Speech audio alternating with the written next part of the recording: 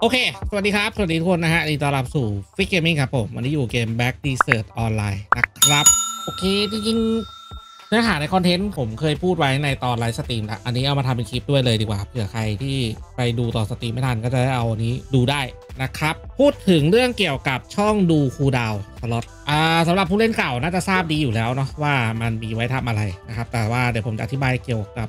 ช่องเนี่ยให้กับผู้เล่นใหม่ด้วยนะครับ ตัวช่องดู cooldown พวกนี้จะเป็นการดู cooldown ที่สกิลที่เราใช้บ่อยๆสกิลจำเป็นจำเป็นที่เราใช้บ่อยๆนะครับถ้ากรณีที่เป็นผู้เล่นใหม่เนี่ยอาจจะไม่รู้นะครับว่ามันทำยังไงวิธีการใช้ก็คือเราจะต้องมาเปิดตัวนี้ครับตัวของอ่าพิมพ์หาในนี้ก็ได้ว่าแก้ไข แก้ไขอะแล้วกดเข้าไปslot cooldown จริงๆ มันจะเป็นหน้าตามันจะเป็นประมาณนี้ ผม reset ให้ดูหนึ่งที จะอยู่ตรงนี้นะครับทั้งหมด 20 สล็อตนะสามารถเลือกใส่ได้ คิดว่าผู้เล่นใหม่ส่วนใหญ่จะไม่ได้เปิดนะครับจะไม่ค่อยได้ใช้ ผู้เล่นใหม่จะใช้ตัวนี้เป็นตัวดู cooldown นะครับคือมันจะโชว์ cooldown ทั้งหมดที่เด้งขึ้นมาเลยนะแต่ผมแนะนำว่าถ้าจะเล่นจริงจังกับเกมจริง ๆ แนะนำให้ไปใช้ตัวพวก cooldown พวกนี้ดีกว่า โอเคมาเดี๋ยวเรามาถึงเรื่องของวิธีการเซตตัวของ cooldown ดูนะผมขออนุญาตนี่ก็เซตตัวของ cooldown นะครับกด ที่ตัว K ขึ้นมาเรามาเลื่อนมาตรงนี้ จะมีตั้งเวลารอการใช้ครั้งต่อไปครับ อันนี้แล้วเราก็เอามาใส่ในตามช่องสล็อตได้เลย อยากให้มันขึ้นสล็อตไหนก็จัดไปครับใช้ได้ทั้งหมด 20 สกิลคร่าวๆก็ประมาณนี้ ส่วนเรื่องการจะจัดเรียงยังไงอะไรอย่างเงี้ยก็จัดเรียงได้เลยเต็มที่ครับจะทำเป็นรูปแบบอะไรก็ได้เลยเต็มที่ไม่มีปัญหา วันนี้ผมจะมาอธิบายเกี่ยวกับเรื่องไอเดียการวางสล็อตของ cooldown นะฮะต้องบอกก่อนว่ามันไม่ผิดไม่ถูกนะ แต่ส่วนตัวผมที่ผมใช้อยู่ปัจจุบันผมจะนะครับทำเป็นกรุ๊ปหรือทำเป็นกลุ่มก้อนของสกิลที่เราใช้อยู่นะครับอาจจะเป็นรวมไปถึงคอมโบด้วย แล้วก็อาจจะรวมไปถึงสกิลประเภทนั้นๆด้วยนะครับ อย่างยกตัวอย่างเช่นอ่าสกิลที่เป็นการเคลื่อนที่ของผมหรือสกิล movement เนี่ยผมก็จะใช้วางเลย 5 ช่อง ส่วนช่องต่อไปที่ผมใช้ก็จะเป็น protection นะครับ3สกิลนี้ เป็น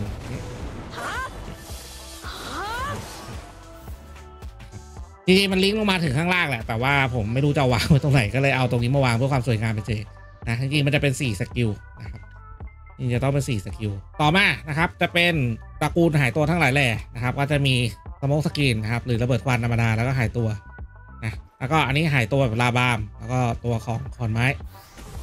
ขอนไม้ก็เป็นหายตัวนะ แต่ว่าหายตัวได้ระยะสั้นนิดนึงไม่ไม่ไม่นานมาก ต่อมาเป็นคอมโบของพายุเงาครับ ก็คือเราจะใช้ทั้งหมด 3สกิลส่วนใหญ่จริงๆผมใช้ตัวนี้ด้วยนะครับ ตัวแดดแล้วก็พายุเงา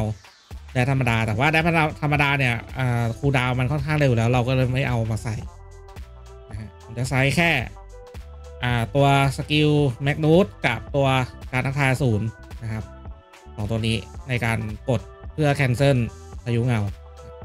ก็ประมาณนี้โอเคนะอันนี้ก็จะเป็นคอมโบพายุเงานะครับ แล้วก็ตัวนี้จะเป็น front guard ครับสามอัน จะเป็น front guard ลาบามนี่ก็ front guard นะครับ อันนี้ก็ front guard แล้วก็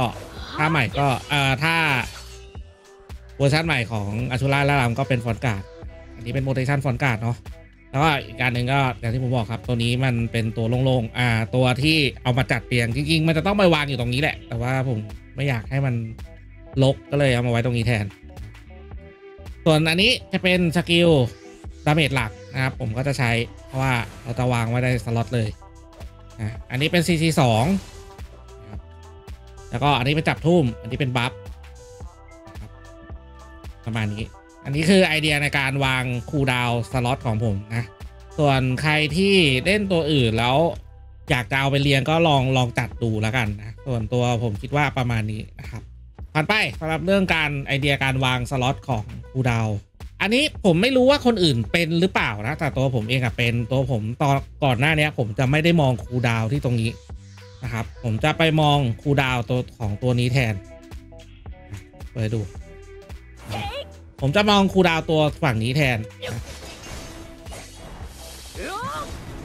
ผมจะมอง cooldown ฝั่งนี้แทน เพราะว่ามันมันเห็นทุกอันนะครับ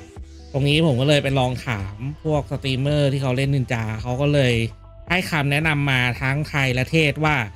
ลองปิดตัว cooldown ทั้งหมดดูนะครับ มันจะได้ย้ายโฟกัสของตาไป จาก cooldown ตรงนี้มาเป็น cooldown ตรงนี้แทนนะครับ แต่ข้อเสียของมันก็มีนะครับ ข้อเสียของมันก็คือบางบาง skill เนี่ยเราจะไม่เห็นอย่าง skill ตัว cooldown ของการหลบหนีนะครับพวก V คูดาวน์แดดหรือสกิลอื่นๆเนี่ยเราจะมองไม่เห็น เพราะนั้นอาจจะ เป็นปัญหาไหมอันนี้ก็ต้องลองดูเอาเองนะครับ แต่ส่วนตัวผมอะตอนเนี้ยปัจจุบันอะที่หลังจากที่ลองฝึกใช้มานะครับ ประมาณสี่ห้าวันเนี่ยผมบอกเลยว่าผมเล่นได้แม่นขึ้นนะครับ เล่นได้เนียบมากขึ้น เพราะว่าเราเราจะย้ายสายตาจากการมองตรงเนี้ยมามองตรงนี้แทน มองตรงช่องคูดาวที่เราจัดไว้แทน อันนี้ก็น่าจะแก้ได้นะผมคิดว่าขนาดตัวผมเองยังรู้สึกว่าเออมันก็เลยอยากเอาทิคนี้มาแบ่งปันคุณผู้ชม ให้ได้ลองเอาไปฝึกกันดูนะสำหรับคนที่มีปัญหาเหมือนผมนะครับนะครับ ในส่วนของcontent วันนี้ โอเคนะครับ ก็ฝากไว้ด้วยครับสำหรับช่องทางการ live stream นะใครที่มีคำถามข้องใจ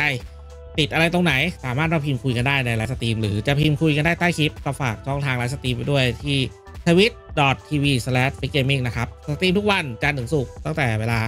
บ่ายโมงต้นไปจะมีวันพุธวันเดียวที่ติดอ่าเรื่องของ อัพ patch เราก็จะมาตั้งแต่8โมงเช้าถึง 11โมงเที่ยงนะครับ แต่ว่าตรงนี้นะฮะถ้าเกิดว่าผมติดปัญหามีธุระหรือมีปัญหาอะไรเนี่ย ผมจะงด stream นะ แต่ก็ยังไงก็จะพิมพ์คุยกันใน community ของ YouTube ได้นะครับผมจะประกาศไว้ในนั้นนะถ้าเกิดว่าต้องหยุด stream หรือจะพูดในในไลฟ์ก่อนหน้านั้นแหละ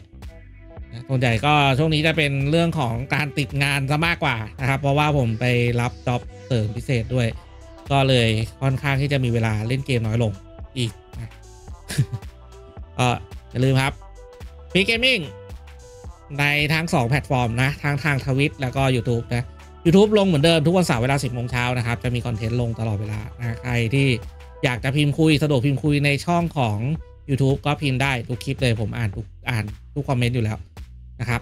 โอเค ไว้เจอกันใหม่คลิปหน้าสำหรับคลิปนี้ผมคงต้องขอตัวไปก่อนฮะ เจอกันแล้วครับ